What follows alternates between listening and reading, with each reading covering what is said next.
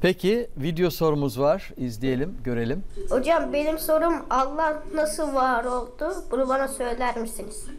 Allah nasıl var oldu? Bunu bana anlatabilir misiniz diyor minik bir kardeşimiz. Sevgili Peygamberimiz tefekkeru fi ala illah ve la tefekkeru fi zatillah. Allah'ın yarattığı şeylerden Allah'ı düşünün.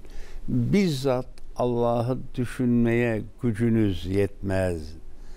Yani biz Allah'ın isimleriyle, sıfatlarıyla Rabbimize inanırız. Bakın e, Rabbimizin zati sıfatları, subuti sıfatları. Zati sıfatları vücut, kıdem, baka, vaktaniyet, muhalefetün lil havadis, kıyam bi nefsihi. Vücut var olması. Yani Allah'ın olmadığı bir zaman düşünemiyoruz. Bir şimdi treni düşünün. En arkada bir vagon var. Onu kim çekiyor? Onun önündeki vagon çekiyor. Onu, onu kim çekiyor? Onun önündeki vagon çekiyor. En son lokomotif, lokomotife vardık. Ee, onları kim çekiyor? Lokomotifçi. Lokomotifi kim çekiyor? Lokomotifin gücü kendinden. Yani lokomotifi de kim çekiyor dersem mantıksızlık olur. Doğru. Onun gücü kendinden. Yani cihanı Allah yarattı. Haşa Allah'ı kim yarattı dersem mantıksız olur. Onunki kendi gücünden. Rabbim demek ki bakın isim ve sıfatlarıyla inanıyoruz. Vücut, kıdem, baka, vahdaniyet, muhalefetün lil havadis, kıyam bi nefsihi. Bunlar Rabbimizin e, vücu- e, zati sıfatlarıdır. sıfatları. Bir de subuti sıfatları vardır. Hayat, ilim, semi', basar, irade, kudret, kelam, tekvin gibi bu sıfatların sahibi olan Allah'a inanıyoruz. E, öyle olursak sağlam bir kaleye dayanmış oluyor. Ağaca dayanma, kurur. İnsana güvenme, ölür. Öyleyse huve mevlakum fe ni'mel mevla ve ni'men nasir. Sizin dostunuz Allah. O ne güzel dost, o ne güzel yardımcı. Hocam şöyle bir hadisi kutsi vardı galiba. Ben gizli bir hazineydim. Bilinmekliği dilediğim için kainatı evreni yarattım Doğrudur. diyor Cenab-ı Hak. Doğrudur efendim. Ötesini zaten Ve bilemeyiz. yani. Rabbimiz de bakın her yerde, her şeyde hem zahir hem batın. Zahir ne demek? Apaçık. Aklı olan için bu deliller yeter.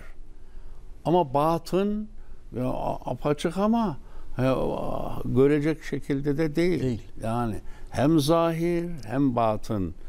Düşünelim insan vücudundan şu dış dünyamıza kadar şu kainatın yaratılışı, şu güneş sistemi. Ya güneş peki bulunduğu yerden bize biraz daha yakın olsa her şey yanar. Biraz daha uzak olsa her şey donar. Ya öyleyse müthiş bir hesap var, bir ahenk var. Ya bu doğa, doğadır bu, bu tabiat. Bu tabiat dediğin şey akıllı şey mi ya? Bu tabiat nasıl yaptı bunu yani? Ha? Yani bakın İstanbul'da trafik kanunları var. E, trafik e, cihazları var. Görevlileri var. Buna rağmen trafik kazası oluyor mu? Oluyor. Ama peki bu alemler ve kullun fi felekin yesbehun Mi- milyarla güneş niye bir trafik kazası olmuyor? Biri diğerine çarpmıyor.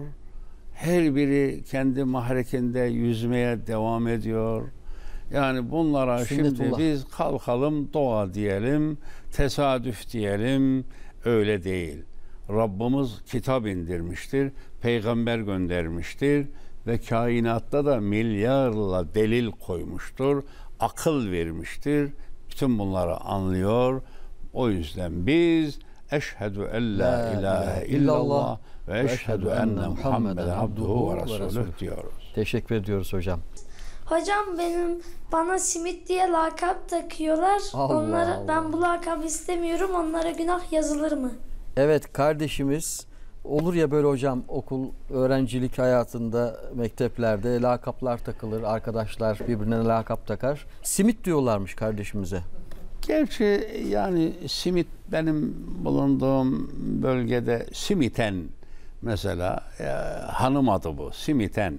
E, simit de güzel üzerine yumurta falan sürülmüş e, güzel bir e, gıda yiyecek yani. E, bundan alınmamak lazım. Ama biz bu konudaki Rabbimizin emrini söyleyelim. Estağfurullah.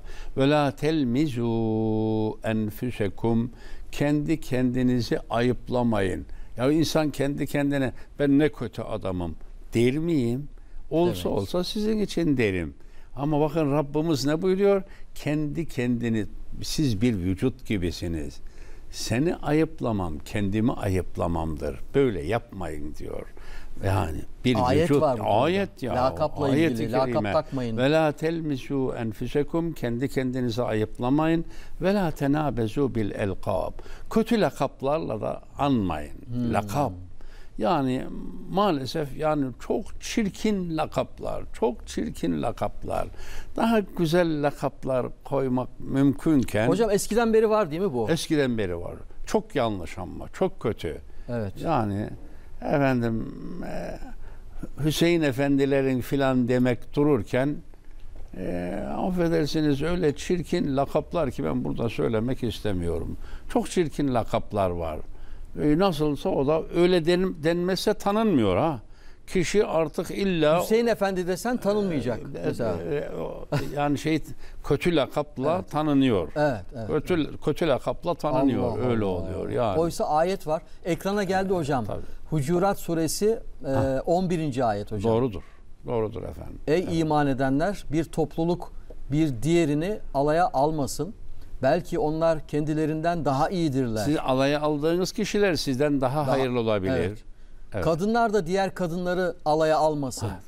Belki onlar kendilerinden daha iyidirler. Aynen. Birbirinizi karalamayın. Birbirinizi kötü lakaplarla çağırmayın.